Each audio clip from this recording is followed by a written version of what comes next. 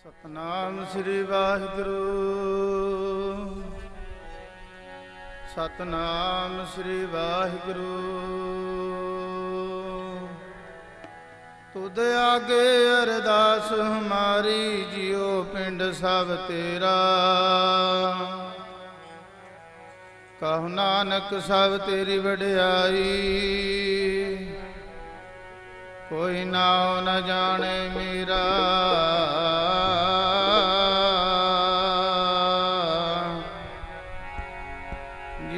ਸਿੱਖ ਲੈ ਮਨਾ ਜ਼ਿੰਦਗੀ ਸਦਾ ਜਿਉਣ ਵਾਲੀ।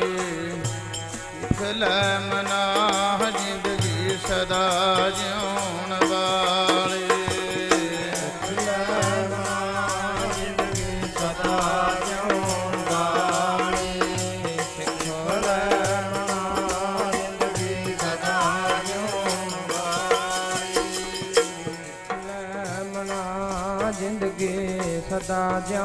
ਜਿਉਣ ਬਾਲੇ ਸਿੱਖ ਲੈ ਮਨਾ ਜੀ।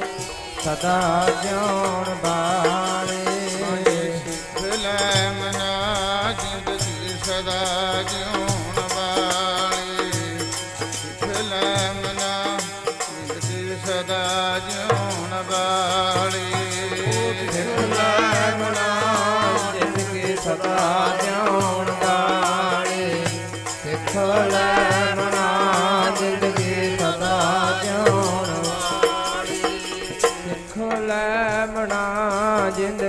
ਸਦਾ ਜਿਉਣ ਵਾਲੇ ਸਿੱਖ ਲੈ ਮਨਾ, ਜ਼ਿੰਦਗੀ ਸਦਾ ਜਿਉਣ ਵਾਲੇ। ਪਰਮ ਸਤਿਕਾਰਯੋਗ ਗੁਰੂ ਪਿਆਰੀ ਗੁਰੂ ਸਵਾਰੀ ਸਾਰ ਸੰਗਤ, ਆਓ ਆਪ ਜੀ ਕਾਫੀ ਸਮੇਂ ਤੋਂ ਗਰੀਵਾਣੀ ਦਾ ਕੀਰਤਨ, ਗੁਰਬਾਣੀ ਦੀਆਂ ਵਿਚਾਰਾਂ, ਗੁਰੂ ਇਤਿਹਾਸ ਅਤੇ ਜਿਨ੍ਹਾਂ ਨੇ ਜੀਵਨ ਦੀਆਂ ਜਾਚਾਂ ਸਿੱਖ ਲੀਆਂ ਨੇ, ਸਦਾ ਜੀ- ਜੀਂਦੇ ਨੇ। ਮਹਾਪੁਰਖਾਂ ਦੇ ਜੀਵਨ ਬਾਰੇ ਕਿਵੇਂ ਮਹਾਪੁਰਖ ਤਾਰਦੇ ਨੇ? ਸਾਰ ਸੰਗਤ ਆਓ। ਬਾਬਾ ਰਿੰਦਰ ਸਿੰਘ ਜੀ ਜੋ ਕਿ ਮਹਾਪੁਰਖਾਂ ਦੇ ਬਾਰੇ ਆਪ ਜੀ ਕਾਫੀ ਸਮੇਂ ਤੋਂ ਬਹੁਤ ਕੁਝ ਸੁਣ ਚੁੱਕੇ ਹੋ।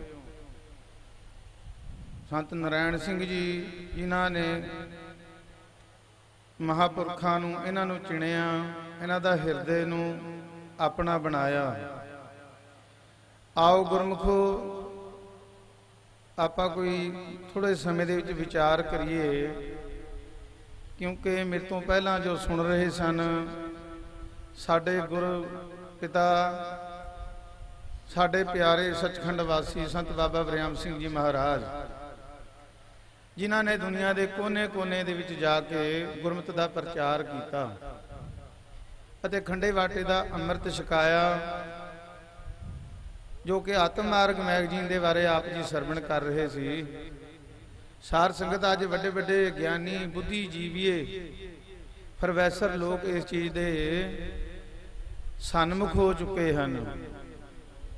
ਕਿਉਂਕਿ ਮਹਾਪੁਰਖ ਹਮੇਸ਼ਾ ਹੀ ਪ੍ਰਕਾਸ਼ ਕਰਦੇ ਹਨ। ਸੋ ਐਸੀ ਤਰ੍ਹਾਂ ਦੇ ਨਾਲ ਸਾਰ ਸੰਗਤ ਮੈਂ ਸਟੇਜ ਦੇ ਉੱਤੇ ਕਾਫੀ ਦੇਰ ਤੋਂ ਦੇਖ ਰਿਹਾ ਹਾਂ। ਸਮਾਂ ਤਾਂ ਦਿੱਤਾ ਜਾਂਦਾ ਹੈ 15 ਮਿੰਟ ਜਾਂ 10 ਮਿੰਟ। ਪਰ ਇਹ ਮਰਿਆਦਾ ਜੇ ਦੇਖਣੀ ਹੈ ਤਾਂ ਰਾੜਾ ਸਾਹਿਬ ਜਾਂ ਰਤਵਾੜਾ ਸਾਹਿਬ। ਸਮੇਂ ਤੇ ਬਾਹਰ ਨਹੀਂ ਜਾਣਾ। ਜਿਹੜਾ ਬੁਲਾਰਾ ਆਪ ਹੀ ਨਹੀਂ ਸੰਜਮ ਰੱਖ ਸਕਦਾ, ਉਹ ਕਿਸੇ ਨੂੰ ਸੰਜਮ ਕੀ ਦੇਵੇਗਾ? ਜਿਹੜਾ ਗੁਰੂ ਦੀ ਹਜ਼ੂਰੀ 'ਚ ਆਪ ਹੀ ਨਹੀਂ ਸਮੇਂ ਦੀ ਕਦਰ ਕਰ ਸਕਦਾ, ਉਹਦਾ ਕਿਹਾ ਹੋਇਆ ਕੋਈ ਕੀ ਸਫਲ ਕਰ ਲਵੇਗਾ ਸਮਾਂ? ਇਹ ਸਮਾਂ ਹੈ ਇਹਨੂੰ ਸਫਲ ਬਣਾਉਣ ਵਾਸਤੇ ਮਨ, ਚਿੱਤ ਇਕਾਗਰ ਹੋਣਾ ਅਤ ਜ਼ਰੂਰੀ ਹੈ। ਸਵਾਏ ਸਰੂਪ ਨੂੰ ਜਿਨ੍ਹਾਂ ਨੇ ਪਛਾਣਿਆ, ਉਹ ਅੱਜ ਵੀ ਨੇ ਤੇ ਆਉਣ ਵਾਲੇ ਸਮੇਂ ਦੇ ਵਿੱਚ ਵੀ ਰਹਿਣਗੇ। ਜਿਹਦੇ ਬਾਰੇ ਸਤਿਪੁਰਸ਼ ਨੂੰ ਪੜਿਆ ਕਰਦੇ ਨੇ, ਜੇ ਨਾਮ ਰਹੂਗਾ ਰਹਿਣਗੇ ਸਾਧੂ, ਹੋਰ ਸਾਰੀ ਝੂਠੀ ਰਹੂਗਾ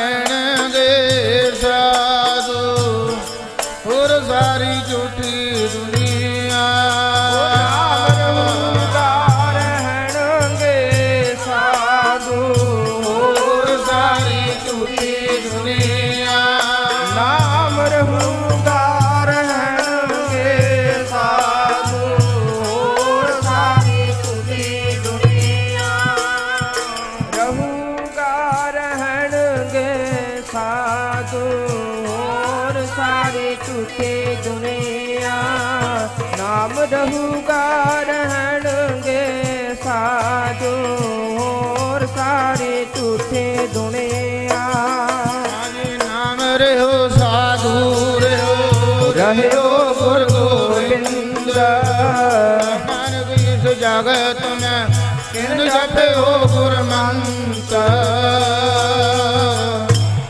ਆਓ ਸਾਰ ਸੰਗਤ ਉਹ ਰਹਿਣਗੇ ਜਿਹੜੇ ਗੁਰੂ ਦਾ ਮੰਤਰ ਲੈਣਗੇ। ਗੁਰਮੰਤਰ ਜਿੰਨੀ ਦੇਰ ਆਪਾਂ ਪੰਜ ਪਿਆਰੇ ਜਿਹੜੇ ਸਿੰਘ ਕਹਾਉਂਦੇ ਨੇ ਆਤਾ ਸਾਰ ਸੰਗਤ ਪੰਜ ਪਿਆਰਿਆਂ ਨੂੰ ਅਧਿਕਾਰ ਹੈ ਗੁਰੂ ਦਾ ਮੰਤਰ ਦੇਣ ਦਾ। ਜਾਂ ਫਿਰ ਪੂਰਨ ਬ੍ਰਹਮ ਗਿਆਨੀ ਹੋਵੇ ਉਹਨੂੰ ਅਧਿਕਾਰ ਹੈ। ਉਹ ਤੇ ਹੇਠਾਂ ਹੇਠਾਂ ਨਹੀਂ।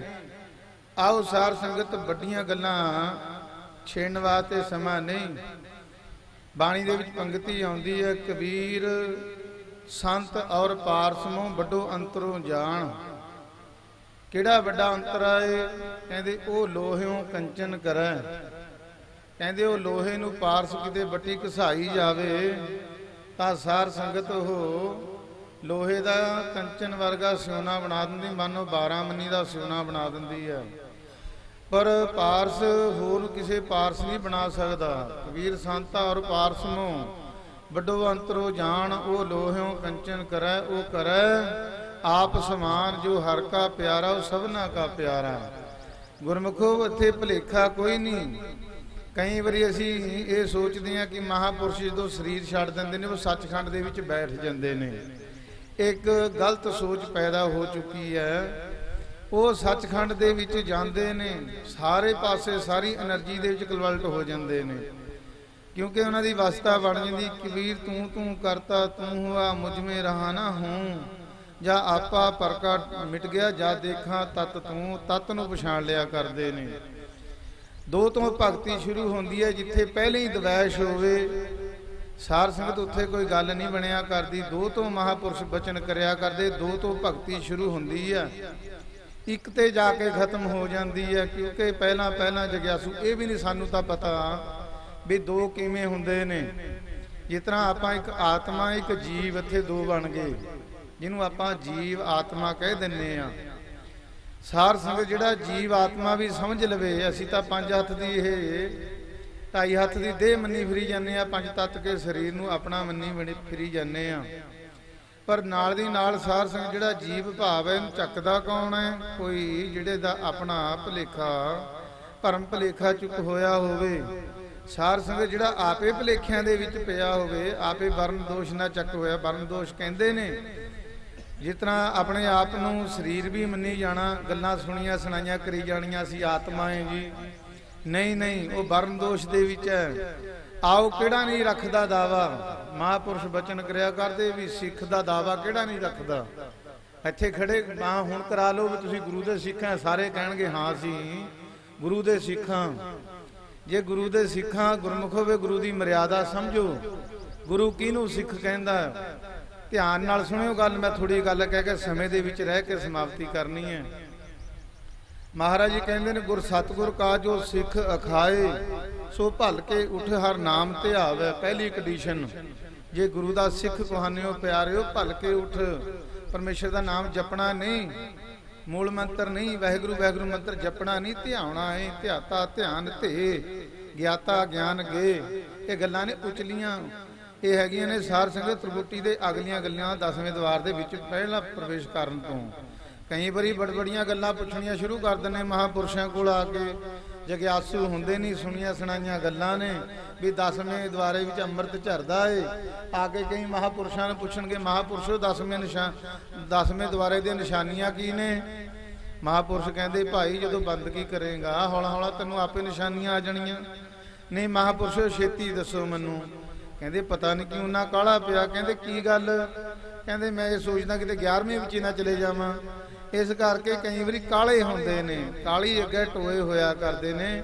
ਸੋ ਐਸੀ ਤਰ੍ਹਾਂ ਦੇ ਨਾਲ ਗੁਰਮੁਖੋ, ਜਿਹੜਾ ਦਸਵਾਂ ਦਵਾਰ ਹੈ, ਇਹ ਤੇ ਤਰਗੂਟੀ ਹੈ, ਇਹ ਤਰਗੂਟੀ ਨੂੰ ਗਾਹਾਂ ਲੰਘਣ ਵਾਸਤੇ ਕਿੰਨੇ ਜੀਵ ਜੋਰ ਲਾ ਲਵੇ, ਗੁਰੂ ਦੀ ਕਿਰਪਾ ਤੋਂ ਬਗੈਰ ਆਪਣੇ ਆਪ ਇਹ ਛਟਕਾਰਾ ਹੋਣਾ ਨਹੀਂ।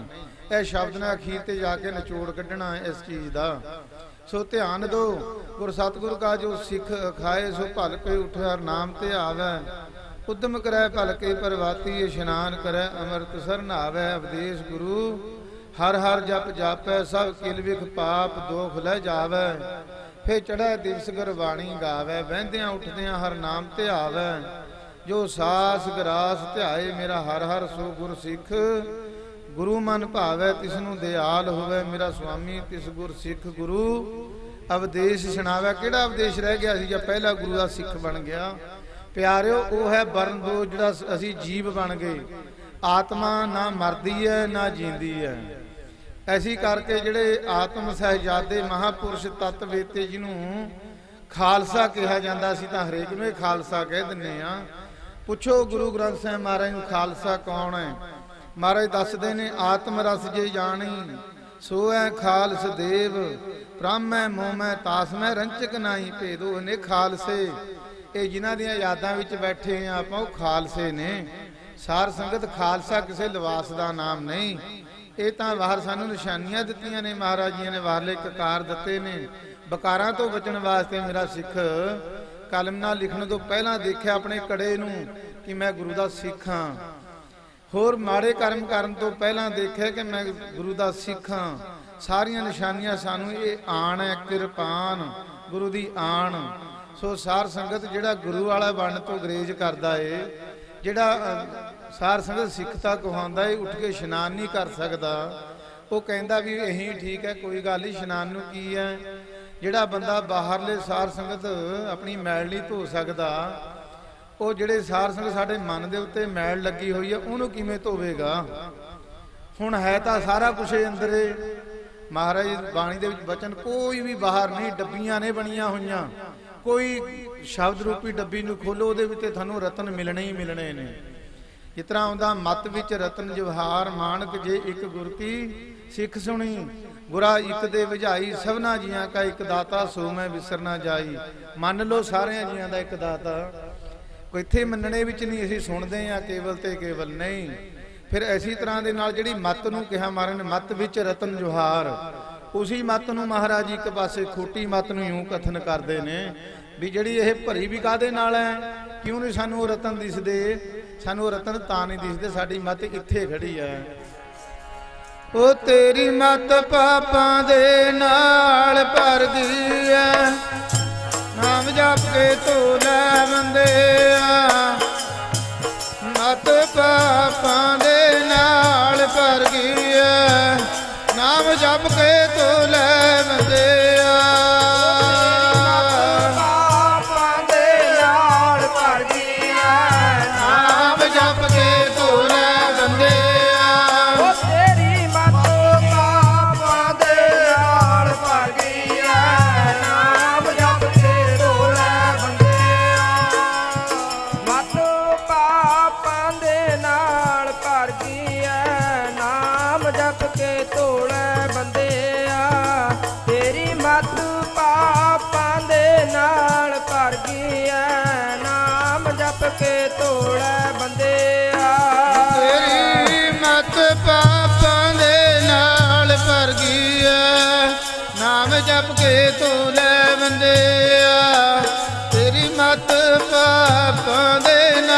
ਭਰ ਗਈ ਨਾਮ ਜਪ ਕੇ ਤੂੰ ਲੈ ਬੰਦਿਆ ਪਾਪਾਂ ਦੇ ਨਾਲ ਭਰ ਗਿਆ ਨਾਮ ਜਪ ਕੇ ਤੂੰ ਲੈ ਬੰਦਿਆ ਤੇਰੀ ਮਤ ਪਾਪਾਂ ਦੇ ਨਾਲ ਭਰ ਗਿਆ ਨਾਮ ਜਪ ਕੇ ਤੋਲੇ ਬੰਦਿਆ ਮਤ ਪਾਪਾਂ ਦੇ ਨਾਲ ਭਰ ਗਿਆ ਜਪ ਕੇ ਤੋਲੇ ਬੰਦਿਆ। ਤੇਰੀ ਮਤ ਪਾਪਾਂ ਦੇ ਨਾਲ ਭਰ ਗਿਆ ਨਾਮ ਜਪ ਕੇ ਤੋਲੇ ਬੰਦਿਆ। ਇਸ ਤਰ੍ਹਾਂ ਦੇ ਨਾਲ ਸਾਨੂੰ ਬਾਣੀ ਹਰ ਰੋਜ਼ ਸੁਚੇਤ ਕਰਦੀ ਹੈ ਪਿਆਰਿਓ, ਭਰੀਏ ਹੱਥ ਪੈਰ ਤਨ ਦੇਹ, ਪਾਣੀ ਧੋਤਾ ਉਤਰ ਸਖੇਹ। ਮੁਤ ਪਲੀਤੀ ਕੱਪੜ ਹੋਏ ਦੇ ਸਾਬਣ ਲਈਐ, ਉਹ ਧੋਏ ਭਰੀਐ ਮਤ ਪਾਪਾ ਕੈ ਸੰਗ। ਉਹ ਧੁਪੈ ਨਾਮ ਹੈ ਕਿ ਰੰਗ ਪਰਮੇਸ਼ਰ ਦੇ ਨਾਮ ਤੋਂ ਬਿਨਾ ਗੁਰਮੁਖੋ, ਇਹ ਜਿਹੜੀ ਮਤ ਨੂੰ ਮੈਲ ਲੱਗੀ ਹੈ, ਇਹ ਕੱਟੀ ਨਹੀਂ ਜਾਣੀ। ਨਾਮ ਕੌਣ ਦੇ ਸਕਦਾ? ਮੈਂ ਨਾਮ ਤੋਂ ਗੱਲ ਸ਼ੁਰੂ ਕੀਤੀ, ਪੰਜ ਪਿਆਰੇ।